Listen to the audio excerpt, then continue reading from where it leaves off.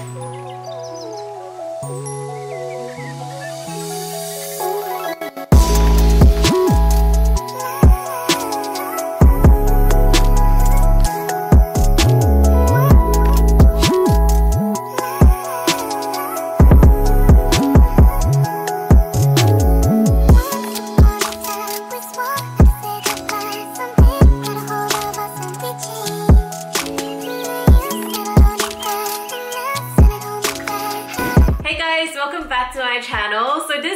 Morning, I woke up to an email from Australia Post saying that my Adidas order is arriving today. So I'm super, super happy because my 700 V3s in the Alvah colorway finally arrived. Now it took a minute for this to get to me. These released on the 11th of April and I got them from the Adidas Australia website. It wasn't too difficult to cop, like I woke up at 6.50, they dropped at 7 o'clock and because the Adidas site like picks people randomly, I think, to get into the site to purchase it. So I managed to buy my size, which is a six and a half. I'll go into sizing a little bit later.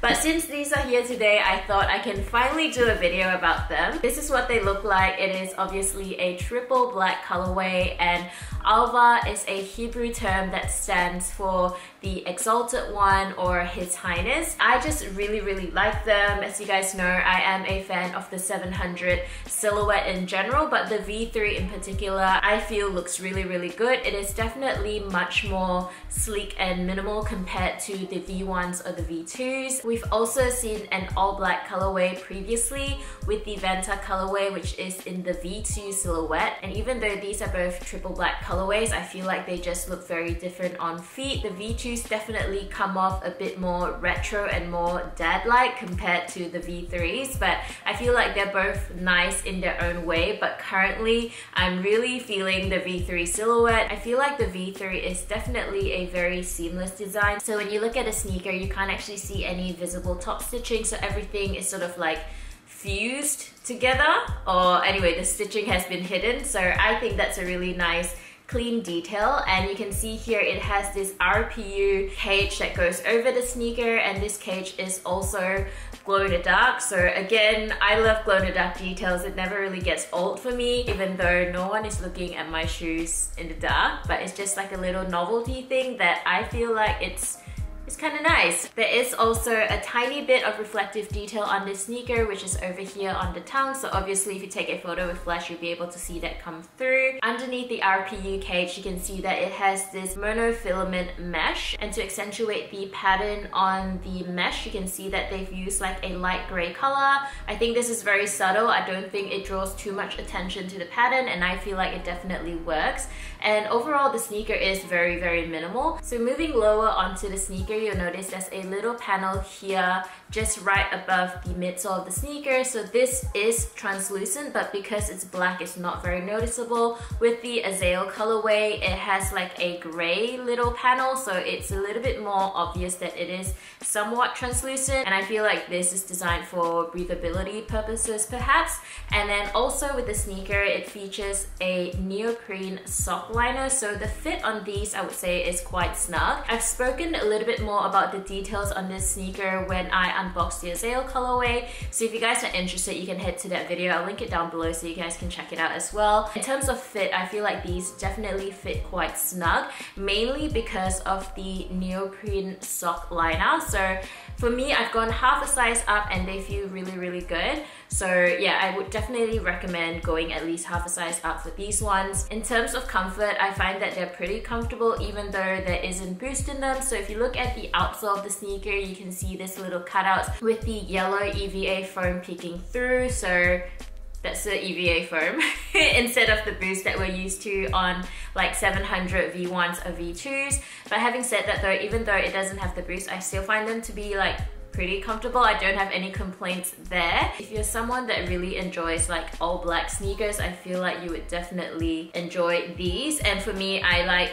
all kinds of sneakers. so I guess I'm probably not the best person to advise you on that but you know I feel like there's an occasion for every kind of sneaker. And all black for me definitely works because I feel like I don't have to worry too much about the sneaker getting dirty. I do wear my Azael colorway quite a bit but I feel like I would probably wear these a little bit more, especially if like the weather isn't that great or anything. I wouldn't mind wearing these out because they are all black. It would not be that obvious if it does get dirty. So that is the 700 V3 in the Alvah colorway and I have to say you know, it met my expectations. I mean, I already have the Azael colorway, so they're obviously not that different, it's just a colorway change, but I really like a triple black sneaker, so this is definitely a cop for me. And I feel like this wasn't too hard to cop because it was a wider release compared to the Azael colorway that they did initially. And these also came out in full family size run and the retail price was 380 Australian dollars. And I feel like they're definitely worth it. So this is my most recent sneaker pickup, even though it feels like it's been a long time. It only just arrived, took, you know, a casual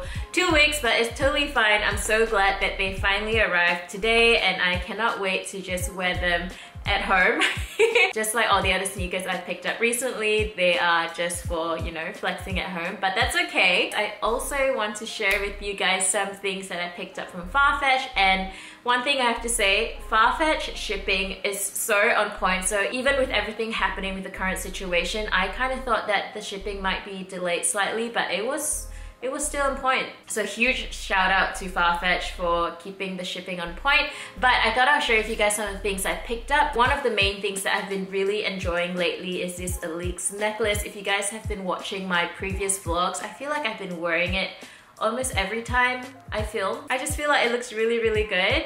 And I do have a 10% off code with Farfetch at the moment. So I'll leave it on the screen so you guys can use that if you're thinking about purchasing anything from the Farfetch website. It'll give you 10% off. It's not an affiliate code or anything, so I don't actually get anything from it, but you guys get to save some money. So yeah, feel free to use it if you guys are interested.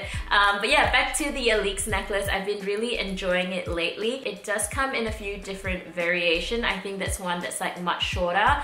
It also comes in gold, but I decided to go for the silver one. I prefer wearing silver jewelry because of my hair and I feel like it just matches because it's a bit more cool tone. But yeah, I feel like this necklace is like quite versatile even though it is more so a statement necklace. I've also worn it like over this fleece jacket which I think is quite a vibe, I think. Anyway, the other thing that I got from Farfetch is this Heron Preston long sleeve tee. And this is under the men's collection and I really like the colorway of this. It's sort of like a off-white, very, very, very light gray color and it has this like orange detailing and then on the back here it has this embroidery, it just says NYC and yeah, this long sleeve is super cozy. I got this in the medium and I feel like Maybe I could have gotten a small, so I would say the fit for this is definitely oversized. I don't actually own anything from Heron Preston, so I feel like I should have looked into sizing a little bit more before I place my order.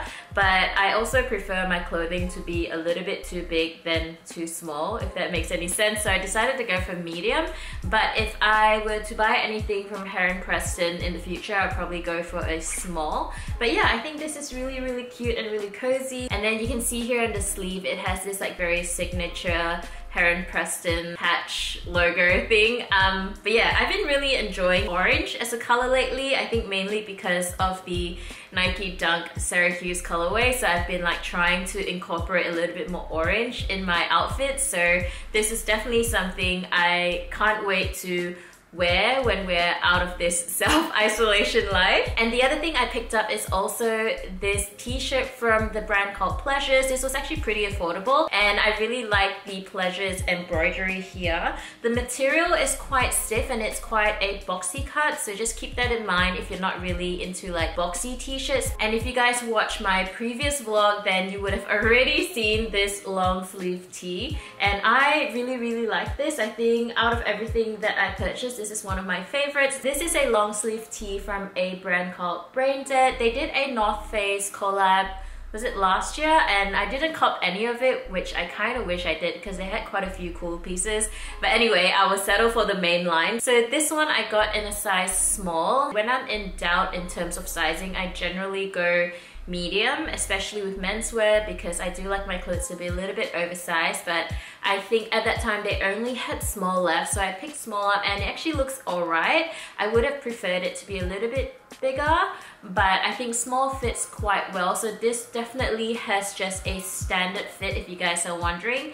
And unfortunately, I think this is sold out now. They do have some other really cool pieces from the brand on the Farfetch website, so you guys can check it out if you're interested. But yeah, I feel like this is definitely a vibe. I really like the color of the t-shirt. It's kind of like a washed gray color, and I think the contrast with the strong graphic prints look really, really cool. And last but not least, I got a hoodie. So it's from the brand called 032C, and again, this was quite affordable, and it just has this like really nice embroidery on the front. I like the fit of it.